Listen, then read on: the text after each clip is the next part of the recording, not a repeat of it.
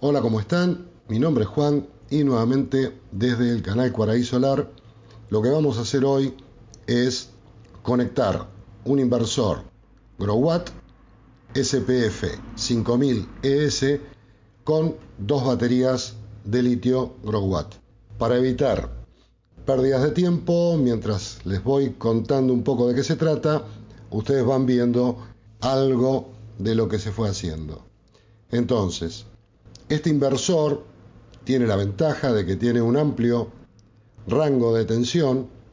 Se van a poder conectar 8 paneles de 465 watts en serie y vamos a conectarle dos baterías Growwatt Hope 3.3 y bueno, la idea es que quiero que vean un poco la configuración y cómo conectarlo, que hay algunas cuestiones que son importantes.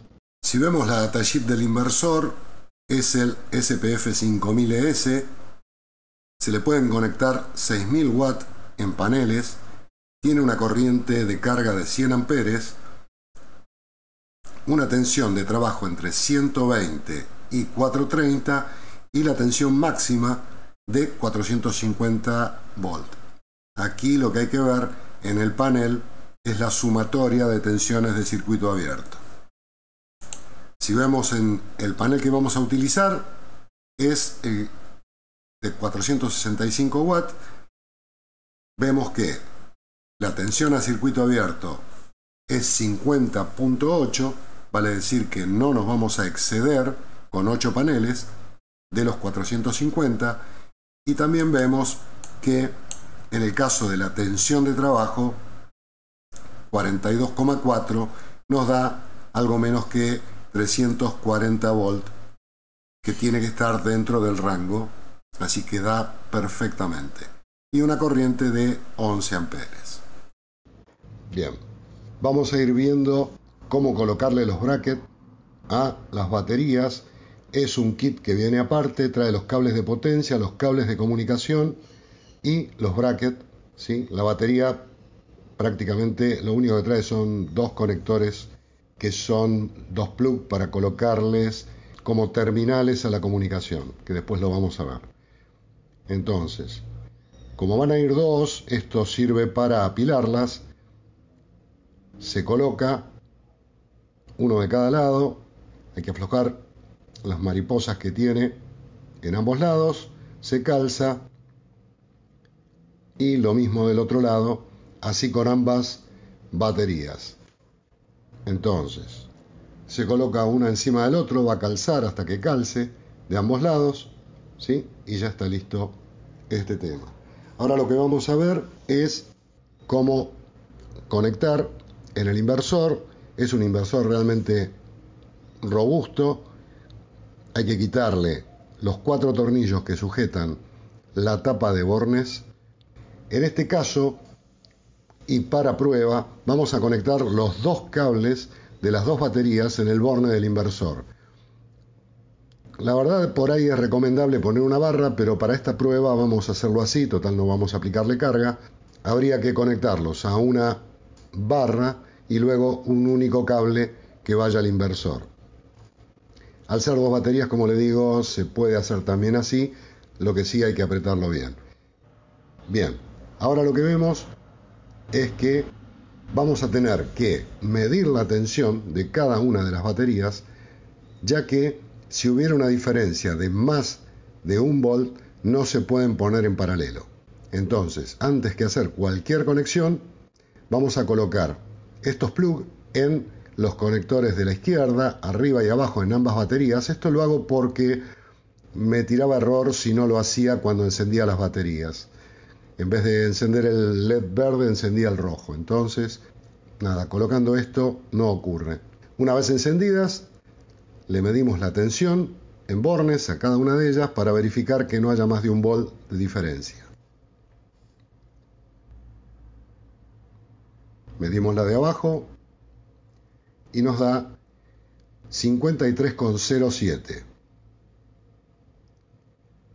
Medimos la de arriba y nos da 53,82. Vale decir que la diferencia es menor a un volt, así que se van a poder conectar en paralelo. Esto es importante, el fabricante lo recomienda, bueno, y hay que tenerlo presente. De no ser así, si hubiera más que un volt de diferencia, lo que se hace es cargar la que tenga el voltaje más bajo o descargar la que tenga el voltaje más alto para que la diferencia sea menor al volt. Ahora lo que vamos a hacer es quitar el conector de abajo de la de arriba y el de arriba de la de abajo. Quedan los dos extremos colocados. Y vamos a colocar el cable corto de comunicación para que se comuniquen ambas baterías. Si hubiera más baterías, hay que quitar el de abajo y se van conectando en serie y a la última se le coloca el terminal S.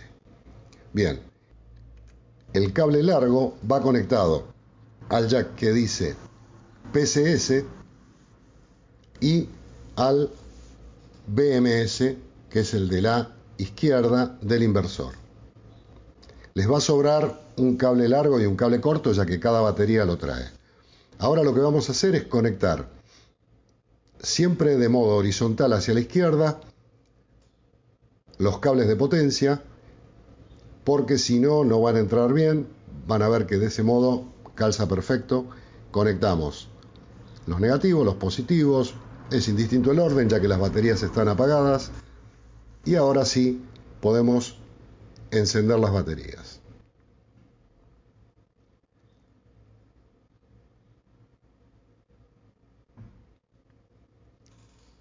Ahí ya enciende el inversor porque estaba en on. Y bueno, entonces, ahora lo que vamos a hacer es ver cómo es la configuración. Bien, vamos a ver cómo se configura. Lo que yo les aconsejo es que se anoten todas las configuraciones que van a realizar antes de comenzar para no olvidarse ninguna. Yo me imprimí el listado de parámetros y fui anotando las configuraciones que iba a hacer. Entonces, esto es recomendable para no perder tiempo y olvidarse alguna. Pulsamos Enter durante unos segundos, aparece el parámetro 001. Ese parámetro lo vamos a modificar porque está en Utility, o sea, Red. Este parámetro lo que hace es definir la prioridad de alimentación al consumo. En este caso es como prioridad utility. Este equipo va a estar eh, aislado de la red y le vamos a poner la configuración SBU. Vale decir que a la carga primero lo va a alimentar la energía solar, si no alcanza la ayuda en las baterías y como último la red si es que no tenemos ni sol ni baterías. ¿sí? El parámetro 2 también lo vamos a modificar. Viene por default en 60, lo vamos a modificar a 64 ya que las baterías, el fabricante recomienda 32 amperes de carga, o sea que como son dos, ponemos 64. ¿Sí? Le damos enter y ya toma ese valor. Ahora vamos a buscar el parámetro 5 que es el más importante para conectar las baterías de litio. Hay que ponerlo en batería en LI, que es litio, y ahí automáticamente nos pasa al parámetro 36. Y el parámetro 36, cuando se utilizan baterías Hope, las Growatt, hay que configurarlo en L51. Esto es importante para la comunicación entre baterías e inversor. Entonces, ponemos 50 y 1 y listo, ya queda configurado que es una batería de litio Hope para que se pueda comunicar perfectamente. Ahora vamos a modificar el parámetro 14 que es importante, que es la prioridad de carga de baterías. Está en CSO, ¿sí? que nosotros vamos a ponerlo en Solar Only, OSO. CSO es que como prioridad es lo solar, pero en realidad nosotros vamos a poner que a las baterías siempre las cargue de solar, o sea, es Solar Only. Entonces, elegimos oso y ya quedaría. Estos son los parámetros que vamos a modificar nosotros, obviamente hay otros, pero bueno, era mostrarles fundamentalmente el parámetro 5, que es el más importante para que se comuniquen bien. Espero les haya gustado el video, no dejen de suscribirse, de dar like, de activar las notificaciones, eso hace que Don YouTube sepa que existimos, así que muchísimas gracias por vernos y será hasta el próximo video.